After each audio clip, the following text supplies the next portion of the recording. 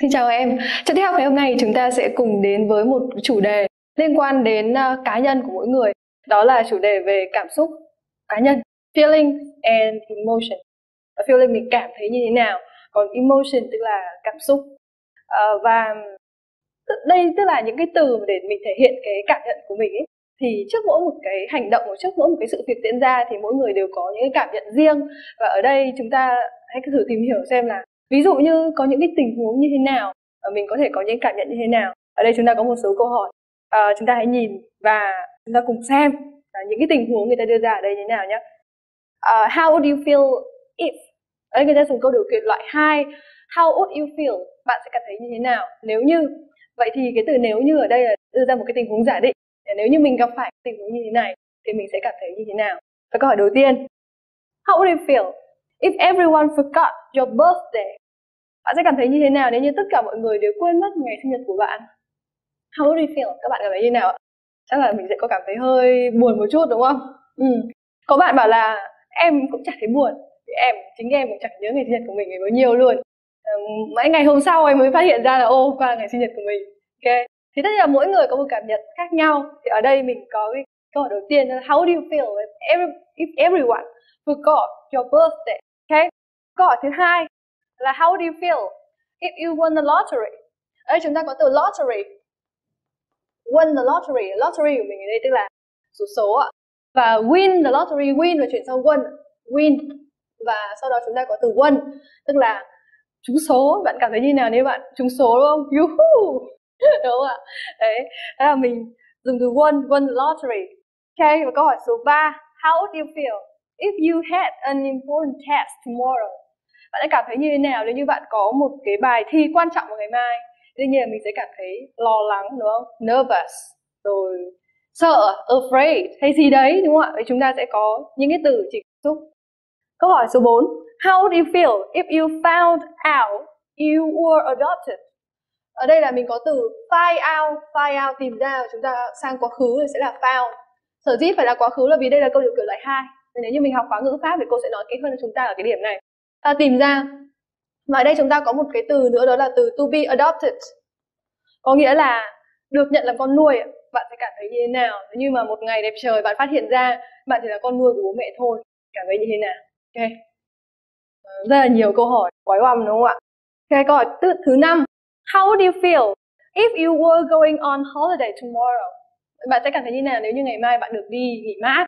Nếu được nghỉ mát thích đúng không ạ? Đấy rồi thì là háo hức như thế nào đấy, đúng không? Vậy thì mình sẽ mô tả cảm nhận của mình như thế nào. Câu hỏi số 6 how would you feel if you had just run 10 kilometers? Bạn cảm thấy như thế nào nếu như mà bạn vừa mới chạy 10 cây số? Ồ 10 cây số là cũng nhiều đấy. Cô cũng hay đi tập tập gym á. Ờ, mình học từ mới từ gym rồi đi tập gym các em. đi tập gym thì thường là cũng chỉ chạy được khoảng tầm độ 5 đến 6 cây thôi. Ơi 10 cây. Wow! Mình sẽ cảm thấy như thế nào nếu như mình vừa mới chạy xong được 10 cây? Ok câu số 7 how do you feel if someone stole your wallet? Bạn cảm thấy như thế nào nếu như một ai đấy là lấy trộm cái ví của bạn? Thì mình có từ wallet ví. Phụ nữ thì có thể dùng cái từ khác đó là từ purse. Purse là cái ví cái, cái bóp cầm tay. Uh, cảm thấy như thế nào đúng không ạ? Câu hỏi số 8 how do you feel if your father went missing? Đó là một tình huống rất bói bằng bạn cảm thấy nếu như cảm thấy như thế nào? Nếu như bố của bạn đột nhiên bị mất tích?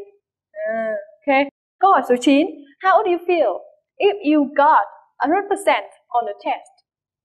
Sẽ cảm thấy như thế nào nếu mà mình làm được đúng 100% ở một bài thi nào đấy? Thế thì cảm thấy cũng rất vui đúng không ạ? Overexcited. Ờ, rất là hào hứng. Câu hỏi số 10 how do you feel if the doctor told you you had one week to leave cũng là một câu rất bài băm bạn sẽ cảm thấy như thế nào? Nếu như bác sĩ bảo bạn là bạn chỉ còn một tuần để sống thôi. À chà. Ok, câu tiếp theo. How do you feel if you got lost in the desert? Bạn sẽ cảm thấy như thế nào nếu như bạn bị lạc ở trong sa mạc? Chúng ta có từ desert là sa mạc. Câu hỏi tiếp theo. How would you feel if you could meet your favorite celebrity? Và bạn sẽ cảm thấy như nào nếu như bạn có thể gặp cái, một cái nhân vật nổi tiếng, celebrity? Celebrity. À, nhân vật nổi tiếng. Đấy, mà bạn yêu thích.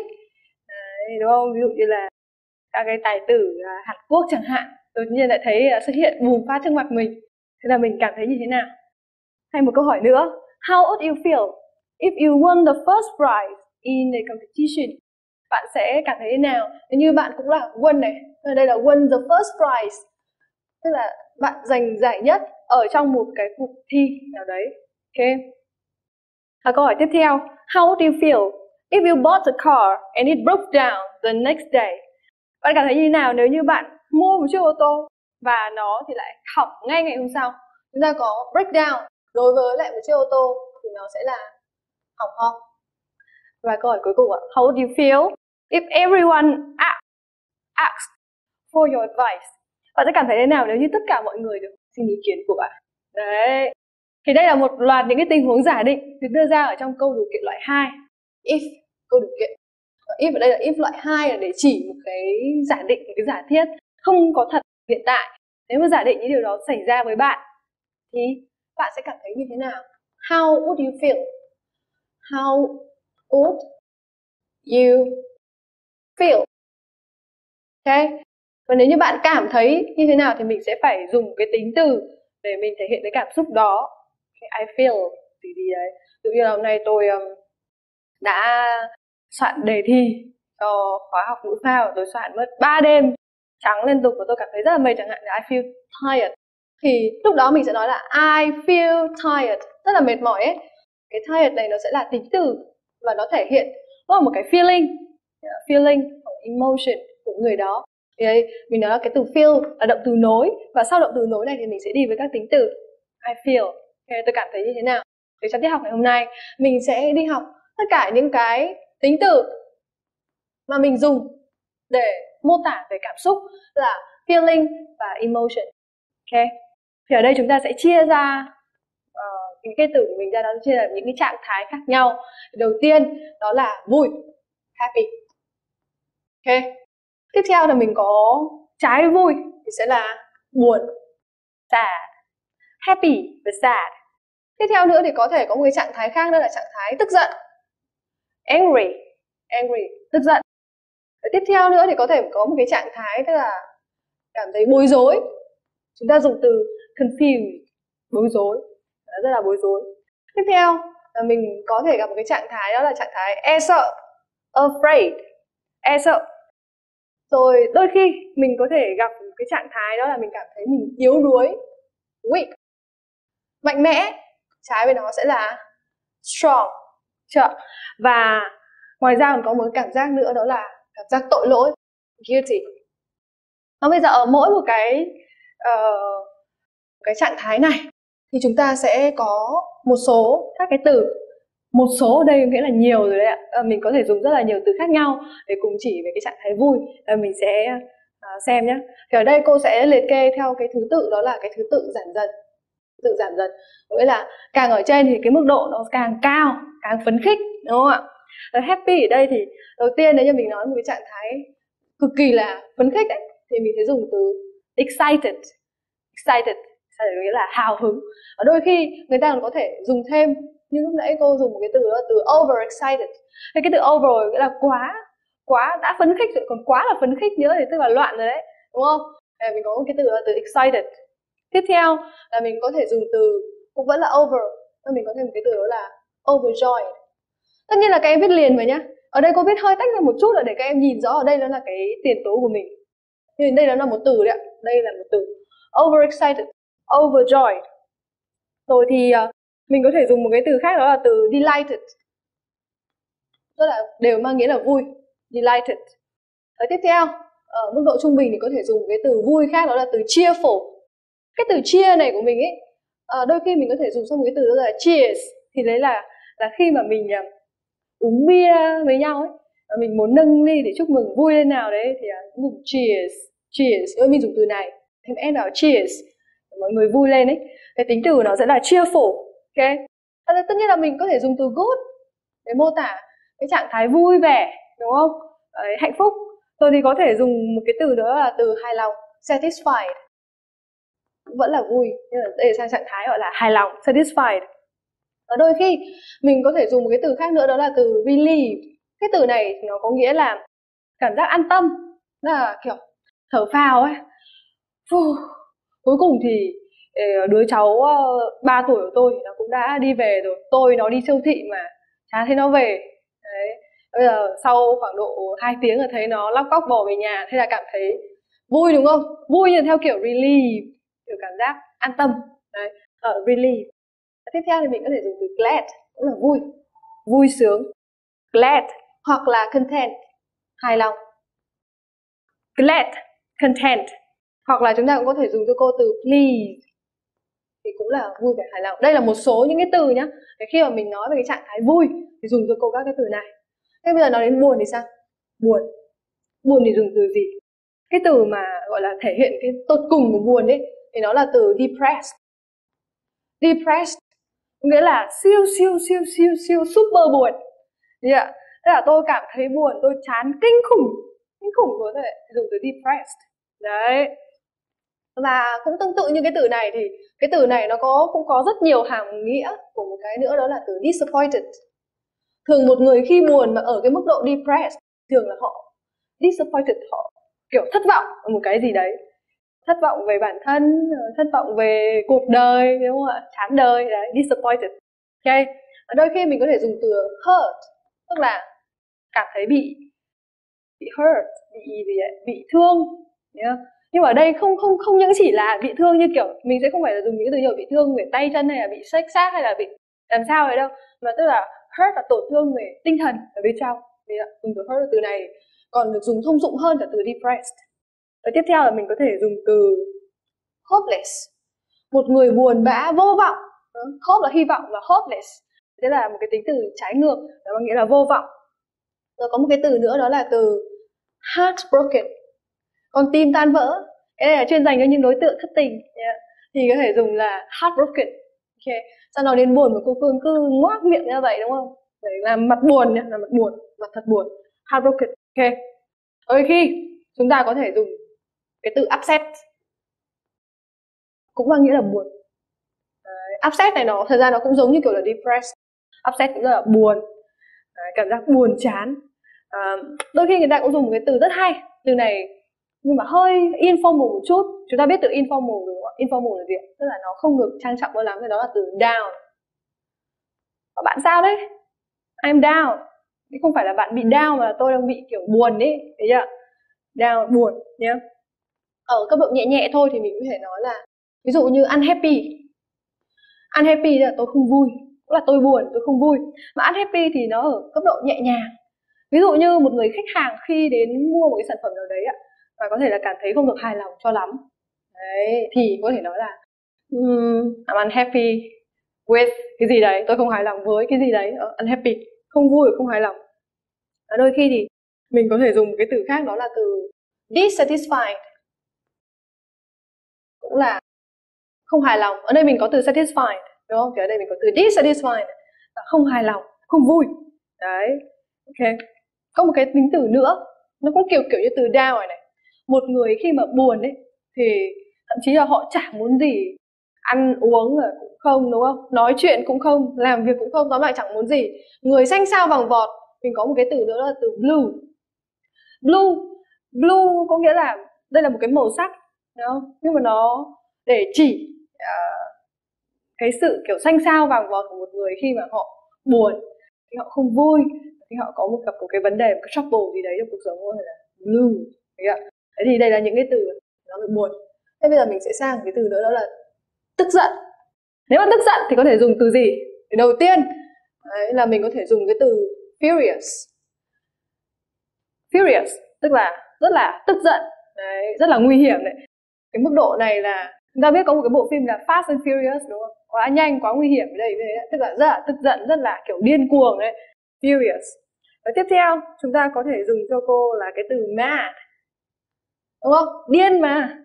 Angry mà, tức điên lên rồi. Đấy. Furious. Or mad.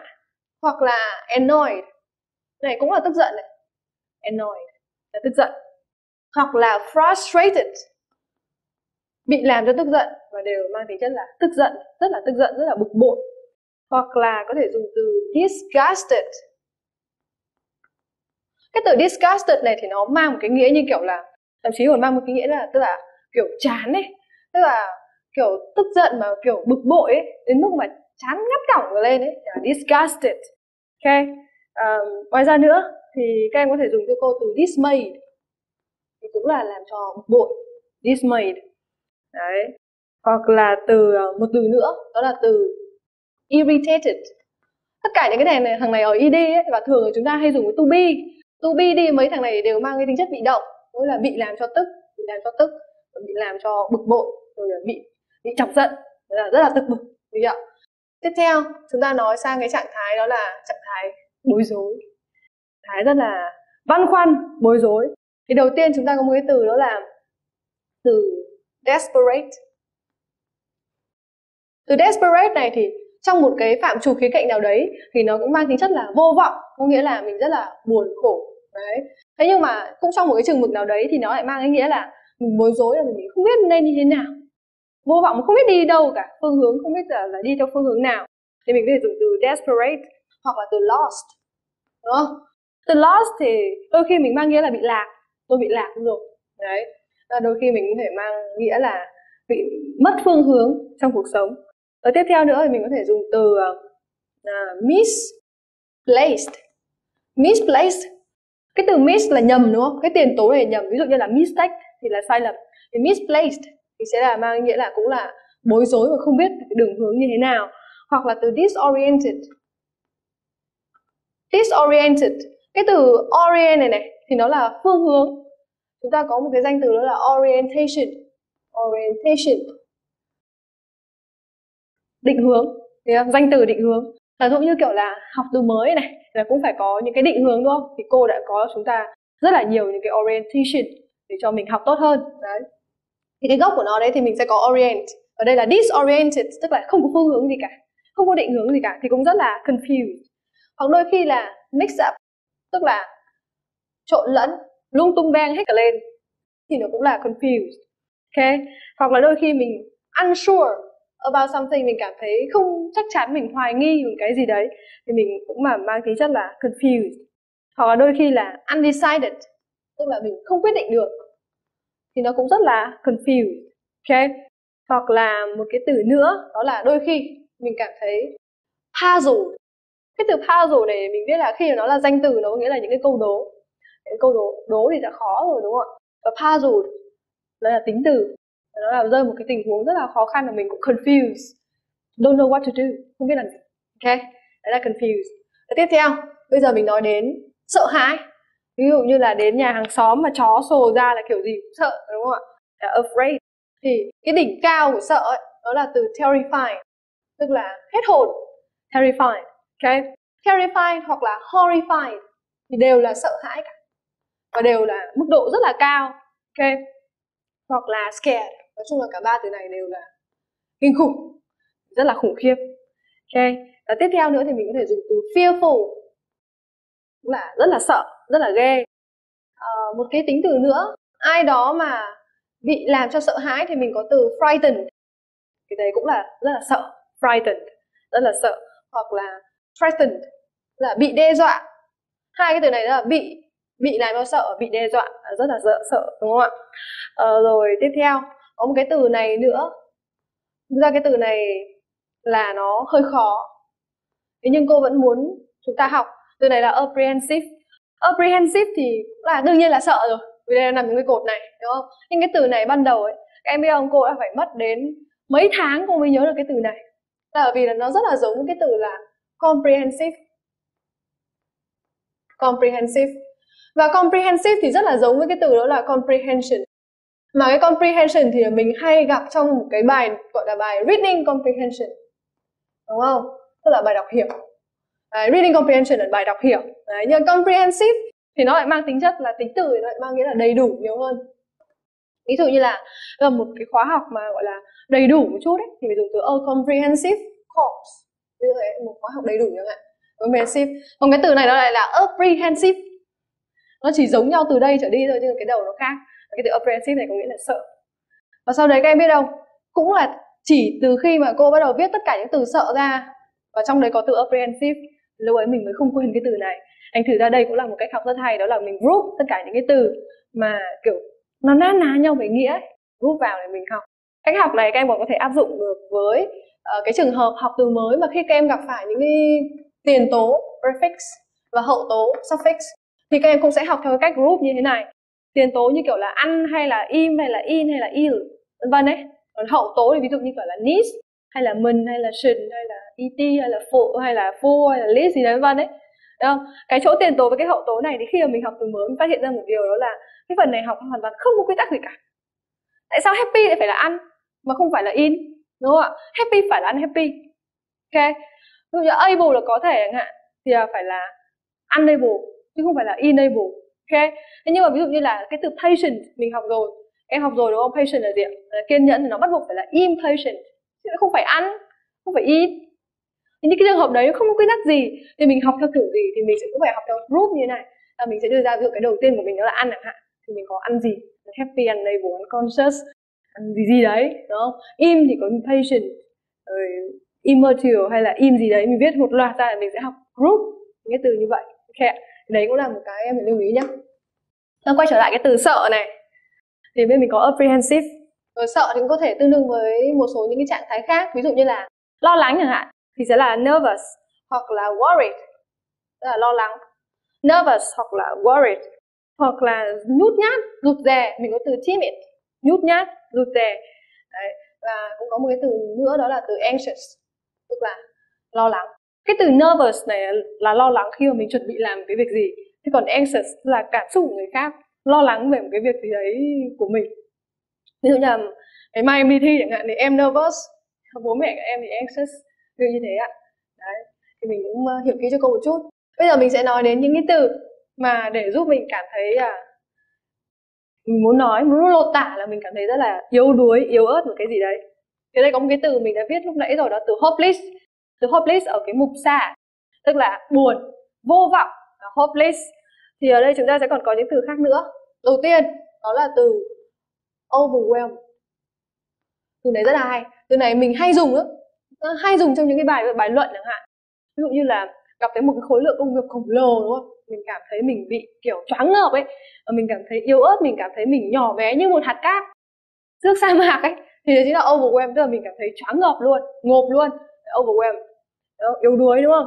Và tiếp theo là mình có thể dùng từ đôi khi mình mệt mỏi mình có thể dùng từ exhausted hoặc là tired đều là mệt mỏi. Trong khi đấy thì cái từ exhausted này thì nó mang tính chất là nó nặng hơn chứ nó mang tính chất là kiệt sức ấy. như là anh ấy anh viên đã tập bơi đúng không? Liên tục trong khoảng 15 tiếng cô ấy bị exhausted. Ví dụ như thế. Đấy, còn tired thì đương nhiên là mệt rồi đúng không ạ? Và tiếp theo nữa thì mình có thể dùng những cái từ khác ví dụ như là từ insecure tôi cảm thấy không an toàn. Cái từ in này cũng là tiền tố. Secure là an toàn và insecure thì nghĩa là không an toàn nó cũng cảm thấy rất là yếu đuối yếu ớt ạ. Rồi thì uh, mình có thể dùng từ uh, ví dụ như là từ uh, inadequate không đầy đủ hoặc là cũng là yếu đuối yếu ớt đấy. Hoặc là incapable không đủ khả năng hoặc không đầy đủ. Không đủ khả năng không đủ để mình làm gì.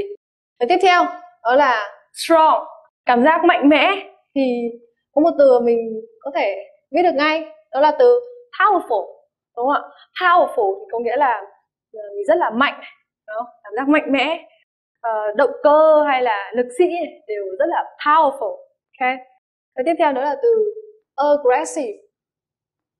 Từ aggressive này thì bản chất cái nghĩa của nó ấy nó tức là ừ, đôi khi nó hơi theo kiểu như này. Ví dụ như là hai người nói chuyện với nhau đúng không? Nhưng mà một người thì rất là aggressive tức là rất là hung hăng rất là hiếu chiến rất là hùng hổ áp hết người khác ấy, thì dùng cái từ aggressive này. Đấy ok aggressive. Hoặc là ví dụ mình có thể dùng từ determined. Từ determined có nghĩa là quyết tâm quyết tâm là cái việc gì đấy? Determined. Yeah. đấy. nhớ là cái từ này ấy, chúng ta đọc là determined chứ không đọc là determine. Có rất nhiều bạn đọc là mine. Chúng ta biết là cái từ này thì đọc là mind đó cái từ undermine thì mình cũng đọc là mine nhưng cái từ này determine thì nó đọc là in. Thì các em nhớ cho cô nó mang nghĩa là quyết tâm quả quyết quyết tâm là cái gì? Và tiếp theo là mình cũng có thể dùng từ confident mang nghĩa là tự tin. Một người rất là tự tin. Đôi khi người ta còn dùng từ self self confident rất tự tin về cái gì? Self confident rồi tiếp theo là mình có thể dùng từ sure một người rất là chắc chắn về cái gì? Hoặc là chúng ta có thể dùng từ uh, ví dụ như là từ persuasive. Tức là có tính thuyết phục rất là mạnh mẽ và có tính thuyết phục ok? Và cuối cùng chúng ta nói đến cái trạng thái đấy là guilty cảm giác là rất là tội lỗi đấy. Thì guilty là có tội này trái nghĩa với từ này đó là từ innocent. Innocent. Từ này có nghĩa là uh, rất là ngây thơ vô tội yeah nó cũng giống như từ knife ngây thơ vô tội không tội gì ok guilty tức là có tội. Và ở đây chúng ta có một số từ cũng là cùng cái dòng này.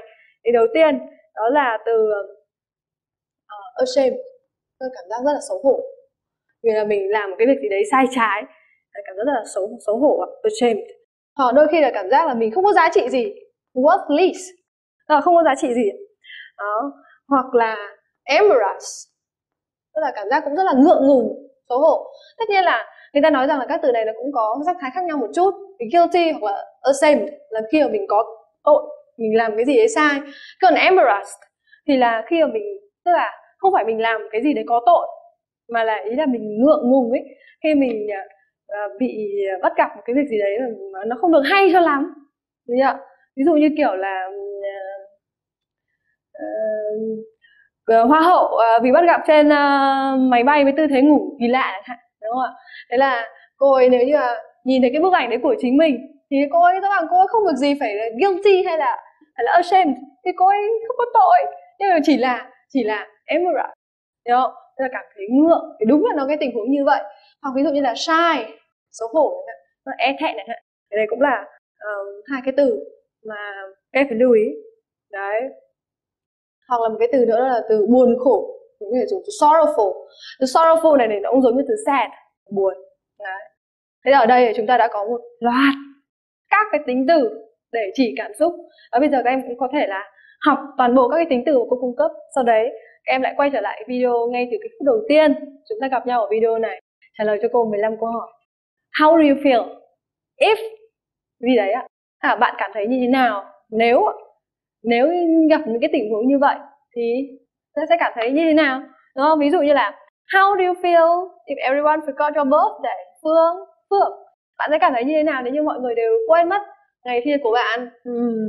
nếu mà thế thì tôi sẽ cảm thấy rất là buồn. Ok so uh, I would feel mình cứ nói là I would nhé tôi sẽ nhé.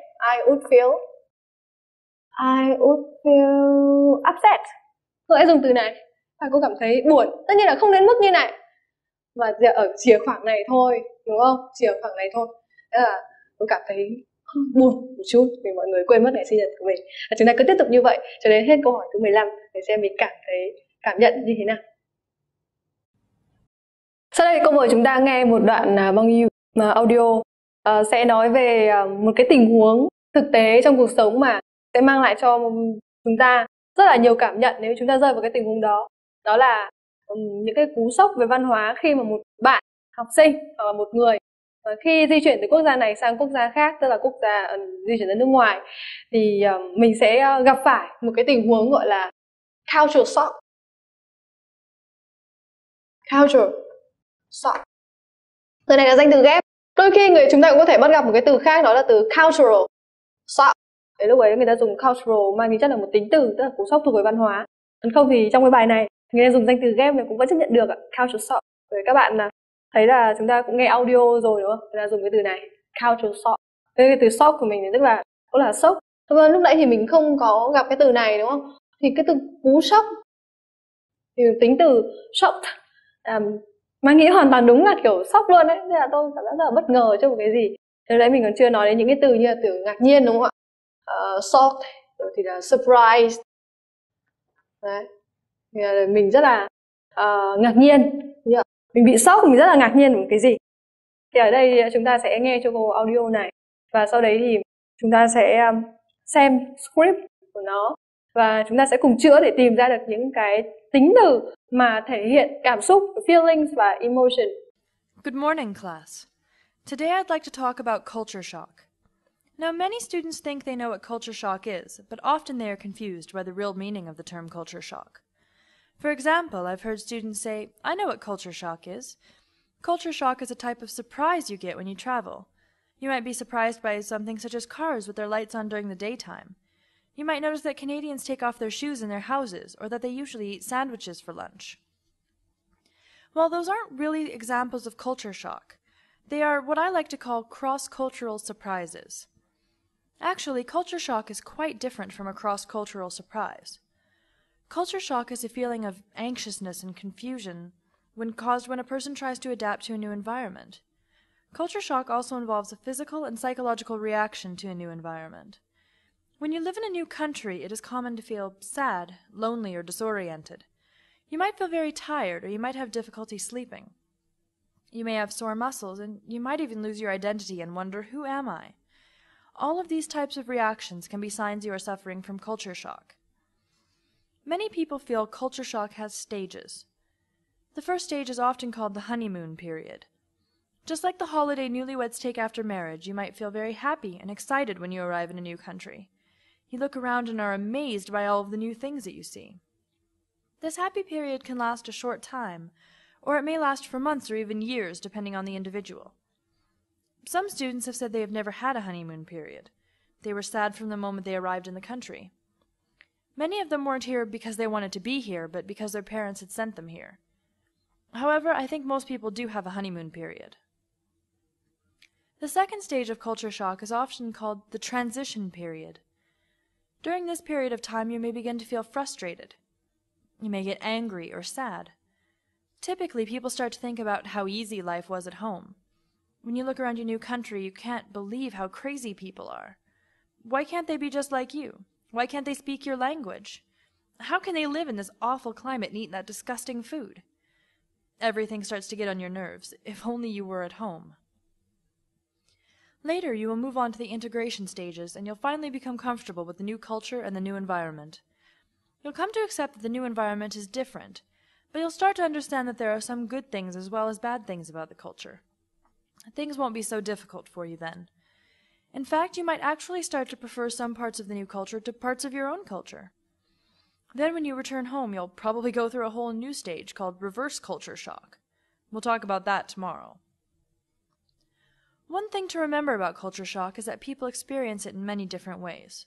Each person adapts to new environments differently, and each stage of culture shock can last for varying periods of time. Before you travel to another country, it might be helpful to do some research on culture shock, so you will be mentally prepared for the emotional and physical reactions that you may have. As well, it may help you to understand the behaviors of other travelers around you. Now, please open your book to chapter 13 and read the group questions entitled Culture Shock Stages. Good morning, class. Today I'd like to talk about culture shock. Xin chào cả lớp này. Ngày hôm nay thì tôi muốn nói về những cú sốc về văn hóa. Now, many students think they know what culture shock is, but often they are confused by the real meaning of the term culture shock. Tức là ngày nay rất nhiều học sinh nghĩ rằng là biết về cú sốc và văn hóa. Thế nhưng mà thường thường, thường ấy thì mọi người rất là confused. Vậy thì chúng ta sẽ nhắc lại ở đây mình có một cái từ confused, tức là rất là bối rối đúng không ạ? Uh, they are confused by the real meaning, tức là rất là cảm thấy bối rối về cái uh, định nghĩa chính xác của cái cụm từ thuật ngữ cái từ term là thuật ngữ culture shock cái này của mình nên gọi cái này gọi là một cái term một cái thành ngữ một thuật ngữ term ok? À, đôi khi mình có thể dùng cái tính từ là từ technical là kỹ thuật. Cái technical term tức là một cái thuật ngữ kỹ thuật ở đấy thì cái này rất là thông dụng trong cuộc sống vì ờ, những cái người làm kỹ thuật ấy thì sẽ rất hay phải gặp về những cái là technical term. À, tiếp theo ạ.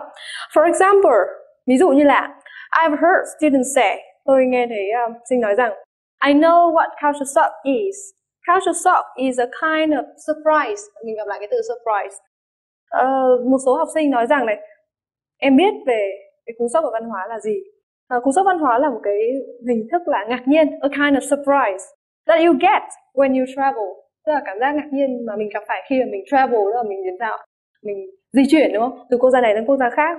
You might be surprised by something such as cars with the lights on during the daytime. Bạn có thể ngạc nhiên bởi những cái thứ chẳng hạn như là ô tô ban ngày mà vẫn bật đèn. Đấy có là cú sốc văn hóa không? Sao họ um, lãng phí vậy? Đúng không ạ? Hoặc ví dụ như là you might notice that Canadians take off their shoes, their shoes in their houses, or that they usually eat sandwiches for lunch. Bạn có thể nhận ra rằng là những người Canada này thường bỏ giày ra khi mà um, họ ở giày ra ở trong nhà của họ là mọi người bỏ tháo giày ra hết hoặc là họ thường ăn bánh sandwich vào buổi trưa thế đối với người Việt Nam mình thì cũng không có thói quen là ăn sandwich buổi buổi trưa đúng không? Đấy thì mình cũng sẽ cảm thấy là hơi sốc với văn hóa kiểu như vậy. Nhưng bây giờ thành du học sinh Canada chẳng hạn bây giờ cả nước người ta ăn sandwich buổi buổi trưa thì nhé mình lại ăn một bữa lunch ờ, rất là rất là big thì rất, rất, rất, rất không ổn rồi đúng không? Cultural shock nó là như vậy. Thì ta tiếp tục đoạn thứ hai. Well those aren't really examples of cultural shock thực ra thì những cái đó vẫn chưa phải là định nghĩa thực sự của của sốc văn hóa đâu they are what I like to call cross cultural surprises. Đấy là những gì mà tôi muốn nói đó là tức là cái gọi là cái surprise tức là cái sự khác biệt giữa các quốc gia với nhau. À, đây chỉ chỉ là liên minh giữa các quốc gia cái sự khác biệt các quốc gia thôi chứ nó chưa hẳn là culture shock. Mình sẽ nói tiếp. Actually culture shock is quite different from a cross cultural surprise. Cú sốc văn hóa thì nó còn khác với cả là những cái sự khác biệt về liên minh giữa các quốc gia. Đấy, liên minh giữa những nền văn hóa với nhau là nó vẫn còn khác ạ. Culture shock is a feeling of anxious needs cái từ này thì mỗi mình học rồi. Anxious needs đây là danh từ thôi ạ. Mình thêm needs vào sau cái tính từ anxious. Là cảm giác rất là lo lắng đúng không? The feeling of anxious needs and confusion. Đây mình có từ confuse và đây sẽ là sang danh từ đó là confusion. Okay. Tức là mình có feeling of anxious needs and confusion caused when a person tries to adapt to the new environment ở đây mình có từ adapt adapt to tức là thích nghi hoặc thích ứng với. Tức là nó là cảm giác mà hơi lo lắng và hơi bối rối khi là một người thích ứng với cái môi trường mới ạ. Adapt to the new environment. Mình có từ environment tức là môi trường. Environment.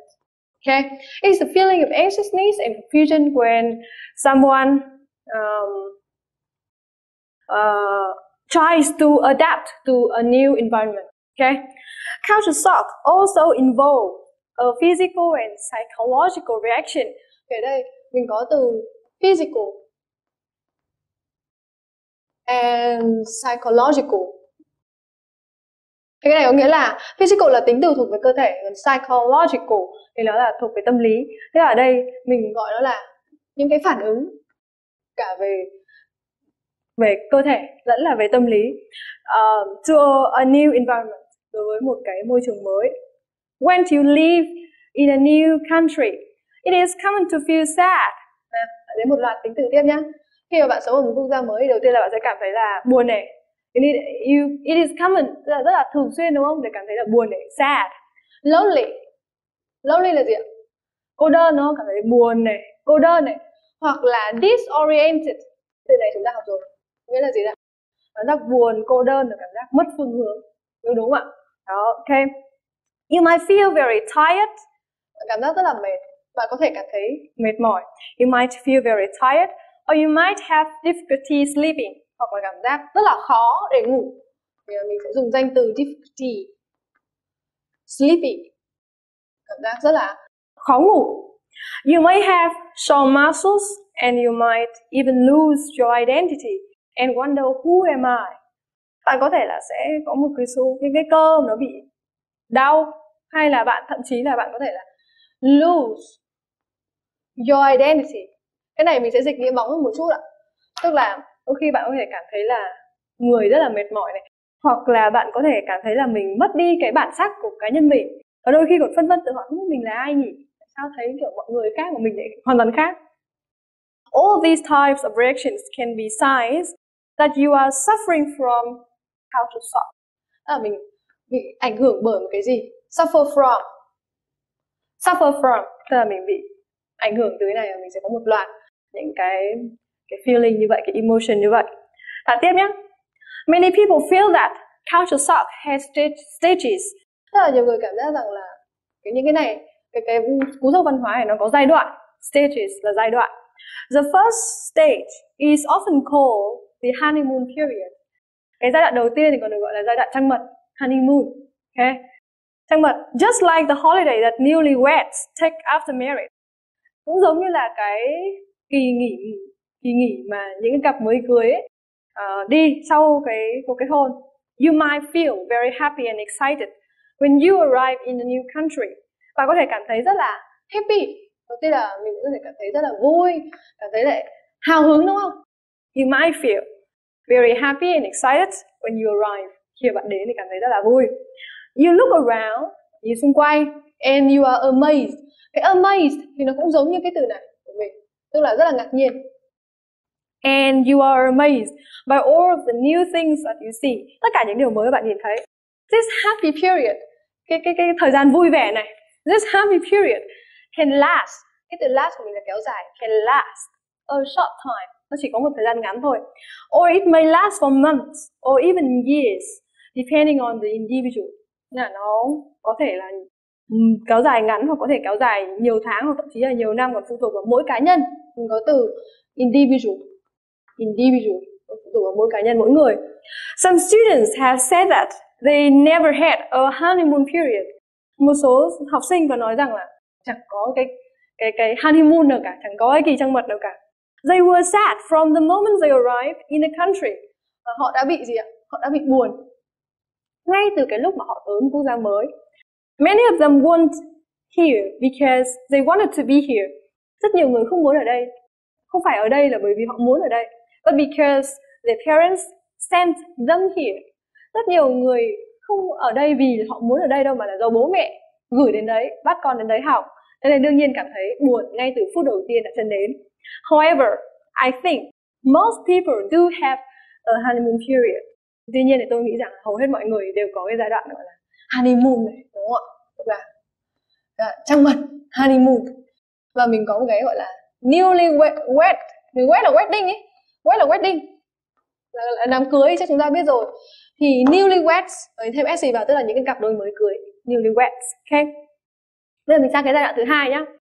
The second, the second stage of culture shock is often called the transition period. Ở cái giai đoạn thứ hai tức là cái giai đoạn chuyển tiếp ạ. Transition period. Okay? During this period of time, you may begin to feel frustrated. Giai đoạn thứ hai này thì mình bắt đầu cảm thấy frustrated. Nào, bây giờ các em thử xem là frustrated nghĩa là gì ạ? Frustrated mình học lúc nãy rồi, nó có nghĩa là tức giận. Đúng rồi, nó nằm ở cột angry. Mình cảm thấy rất là tức giận. Frustrated. You may get angry. Angry. Chưa có từ angry đây đúng không? Angry bạn có thể cảm thấy rất là tức giận. Um, sad. Tức là tức giận hoặc là buồn. Typically, people start to think about how easy life was at home. Thông thường mọi người bắt đầu nghĩ về chuyện là nếu mà ở nhà ấy, thì cuộc sống nó dễ dàng hơn biết bao nhiêu, đúng không? When you look around your new country, you can't believe how crazy people are khi bạn nhìn xung quanh ở cái quốc gia mới, bạn không thể tin nổi sao mọi người xung quanh lại điên khùng đến mức độ như vậy. Crazy. Đó, đây chính là culture shock cú dâu ở văn hóa. Why can't they just be like you? Tại sao họ không thể giống như mình được nhỉ? Why can't they speak your language? Tại sao họ không nói cái ngôn ngữ của mình nhỉ? Sao không nói tiếng việt đi, đúng không? How can they live in this awful climate and eat that disgusting food? Thế nên mình có thêm cái từ từ awful, tức là chán ngắt này và chúng ta cũng có thêm một cái từ là disgusted. Cũng là chán. Nơi này mình học rồi, đúng không? Disgusted. Và awful. Ở đây tức là làm thế nào mà họ có thể sống được ở cái khí hậu chán như thế này? Là sao có thể ăn được cái thức ăn chán như vậy? Chúng ta có hai tính từ đó là disgusting và disgusted. Nó cũng giống như là tính từ interesting interesting. Và tính từ interested thì cái này dành cho người cái này dành cho vật đúng không ạ? Thì cũng thế. Bây giờ mình nói về đồ ăn là vật thì mình sẽ dùng cái in này. Đó, disgusting food đúng không ạ? Em còn nhớ không? Interesting là gương bộ phim thú vị ấy thì mình dùng the film is interesting. Ở đây đồ ăn mà chán thì dùng disgusting food còn người thì sẽ bị disgusted ok? Everything starts to get on your nerves. Ở đây mình có một cái thành ngữ cái này gọi là cái idiom. Get on one's nerve thành ngữ này cũng có nghĩa là làm cho ai đó tức giận to make someone feel angry ok? Um, chúng ta tiếp tục nhé if only you were at home giá như một mình ở nhà thì tốt ok?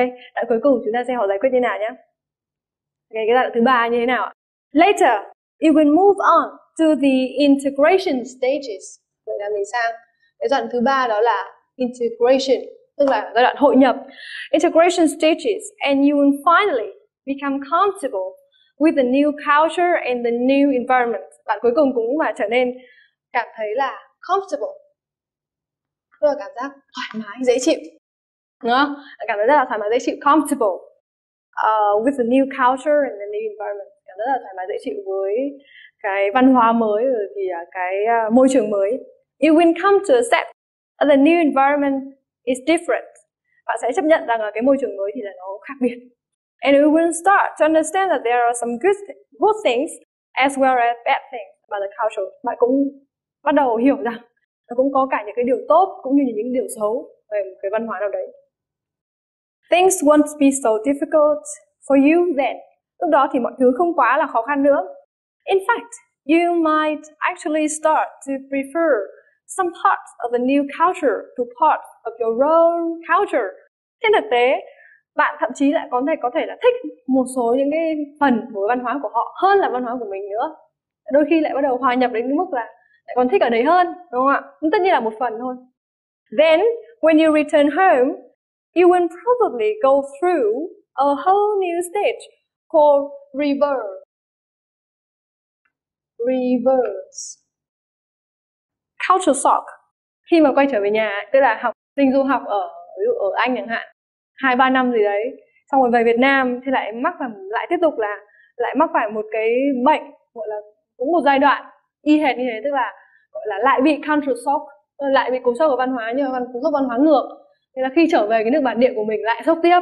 À, mình đã quen ở bên kia rồi đúng không? Thì bây giờ quay trở về Việt Nam lại bị sốc. Ôi sao mọi người như này khi ở bên kia lại khác đúng không? Thì người ta gọi là reverse tức là đảo ngược lại.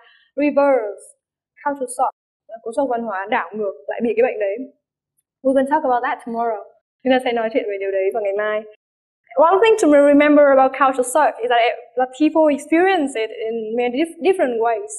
Một điều mình phải nhớ rằng là cú sốc văn hóa đó là mọi người sẽ trải nghiệm nó. Chúng ta có từ experience. Trải nghiệm nó. But people experience it in many different ways. Each person adapts to a new environment differently, and each stage A culture shock can last for varying periods of time. Mỗi người thì sẽ thích ứng với cái môi trường mới theo cách khác nhau và mỗi giai đoạn của cú sốc văn hóa có thể kéo dài khoảng thời gian cũng là khác nhau. Varying, varying là different là như nhau. Before you travel to another country it might be helpful to do some research on cultural shock so that you will be mentally prepared for the emotional and physical reactions that you may have. À, trước khi bạn đi tới một quốc gia khác thì một điều rất cần thiết đó là phải nghiên cứu về những cái cú sốc của văn hóa để mà bạn sẽ chuẩn bị với tinh thần rất là tốt cho những cái phản ứng về cơ thể cũng như là về cảm xúc mà bạn có thể có. Okay.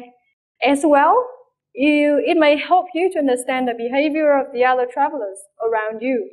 Và hơn nữa, nó cũng có thể là giúp bạn hiểu được những cái thái độ của những cái người khác ở xung quanh mình. Tức là mình sẽ hiểu tại sao mà một số những cái người nước ngoài khi mà họ tới Việt Nam ấy, họ lại bị kiểu trông họ cứ làm sao ấy, xong từ hết từ là confused xong rồi lại sang là, là sad lại buồn đúng không? Xong lúc sau thì một lúc khác lại vui xong lại excited xong rồi đúa kiểu đấy. Lúc thì frustrated lúc thì disgusting đúng không? Lúc thì cảm thấy comfortable. Đấy thì mình cũng hiểu được là những cái người đấy ở xung quanh mình ấy họ đến nước mình họ như thế nào. Là thế là culture shock vân vân.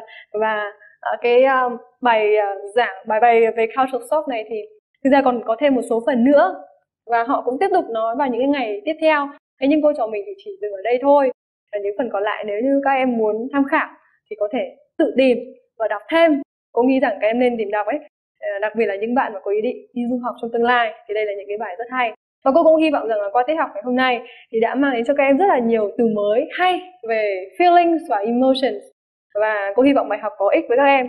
Ở cái bài đọc hiểu cuối cùng này chúng ta còn có thêm một số những cái câu hỏi liên quan đến bài đọc. Nhưng thời lượng của uh, bài học thì đã kết thúc cho nên phần này sẽ là để đọc thêm với các em.